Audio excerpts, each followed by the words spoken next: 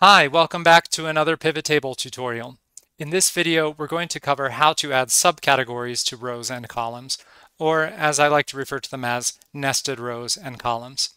We will also show you how to repeat all the item labels within nested rows and columns, which can come in handy now and then. So here is a pivot table that we built earlier, which shows data summarized by program and by Medicaid eligibility. And let's say we wanted to look at gender variation depending on whether children were eligible for Medicaid or not.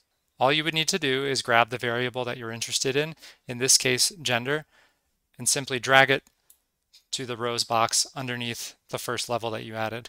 And you can see now our pivot table has female and male nested within each of the categories for Medicaid eligibility.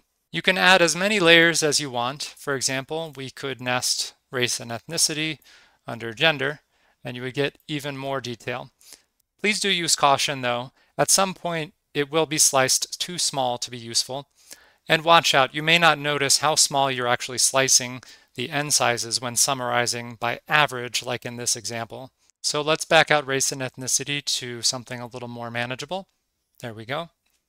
And you can even switch the order. So if I wanted to look at Medicaid eligibility underneath gender, all you would have to do is within the rows box, click and drag that variable to the top.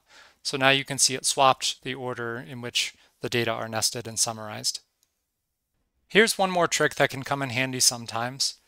If you make sure to click inside the table and go up to the Design tab, and first go into Report Layout, and let's make sure that we're in outline or tabular form. In this case, I want to make sure it's in outline form. And there we have our appropriate column and row labels. Now, let's say we wanted female and male to cascade down through the rest of the cells next to Medicaid eligibility. You can do this by going up to Report Layout again and click Repeat All Item Labels. And you can see it added that detail next to the Medicaid eligibility status.